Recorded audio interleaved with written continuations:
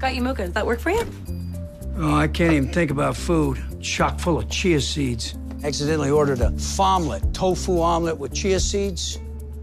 It's like somebody hocked up a loogie on my plate. How did you accidentally order an omelet?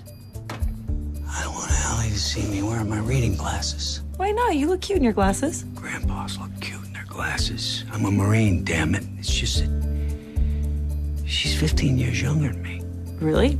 See? We're like one of those sitcom couples where the woman's too good looking for the guy. I don't want to be Ralph Kramden to her Alice. I don't get the reference. God, I'm a dinosaur. Stop it. You're a darn good looking man with a ton to offer. Best tires have some wear on them, right? No, people prefer new tires.